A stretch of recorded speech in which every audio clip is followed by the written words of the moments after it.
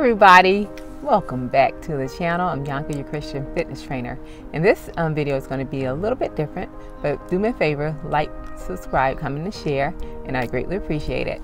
So in this video, I'm going to be talking about um, giving a testimony because I think that's important. I remember there was a time when I went through YouTube looking for different testimonies on things that I was trusting God for.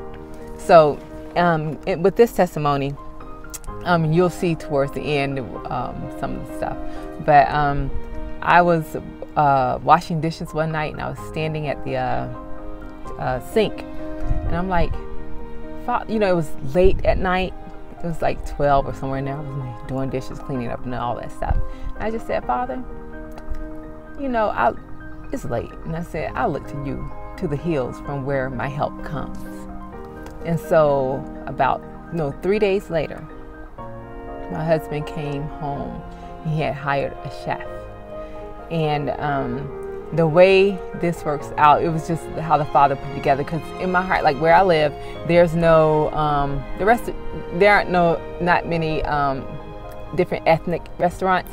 So, you know, I, I like Caribbean food a lot. I grew up eating it and I really like it, but there was like none in our area whatsoever. So, um, I like if I go to Miami where I'm originally from, I can get food there, or if I go to New York City, I can get food there, or maybe down in Albany, one of the other towns, I can go, uh, cities I can go to, but never in, in my own city. So, Chef Nikki is uh, she's from the Caribbean, and she was able to make all the foods that I was missing.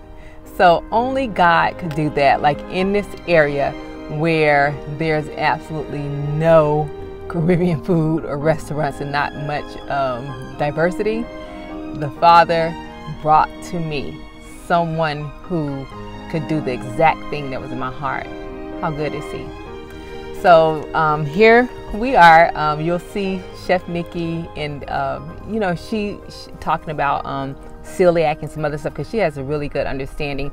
And even in her own story, um, she'll talk about like um, how she she's able to make and cater to people with celiac or um, vegan, vegetarian, pescatarian, and she just prepares meals. Like she's a she has a catering um, business, but she also she's my family's personal chef.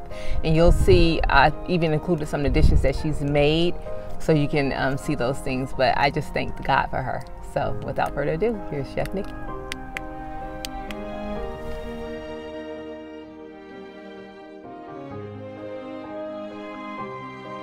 Tell us about the celiac.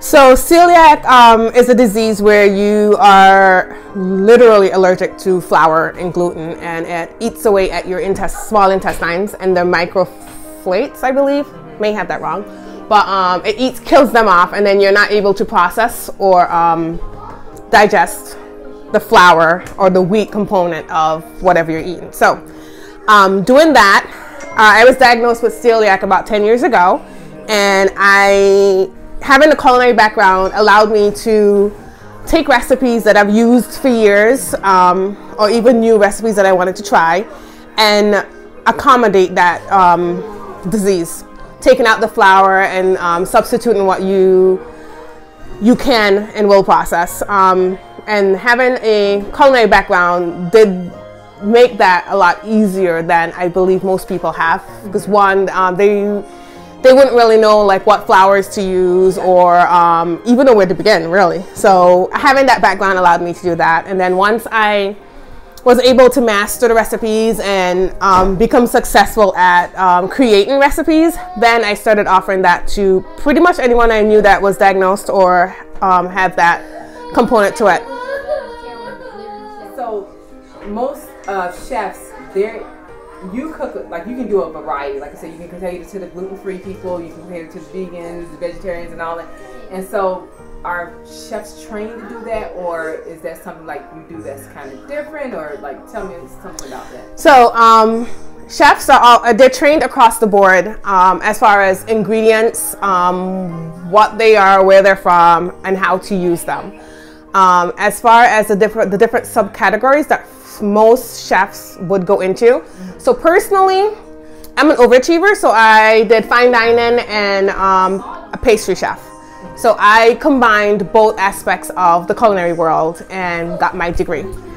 The smaller or minor subcategories as far as vegan, pescatarian, you might specialize in one area over the other. For me, uh, I have a lot of allergies as far as food allergies and environmental allergies. So I was introduced to the gluten free, dairy free, pescatarian because my dietary needs forced me in that direction. So I am lactose, had to figure out how to, everyone loves whipped cream, how to get whipped cream without the dairy or mac and cheese without the dairy. Um, then you add the celiac, had to figure out how to eat the comfort food that you know and love without poisoning yourself. Yeah. Um, fish, I grew up in the Caribbean, so that's what we're known for. We love fish, and yeah, culinary just re um, fine tuned my skills and knowledge, and yeah. So just depends on the chef and what department they want to go into. And I don't necessarily have a sweet tooth, but I love the creativity that pastry brings to the table. So I love creating pastries and desserts and sweets. Well, I'm glad because I like I, I, got the sweet tooth, so we're a good team.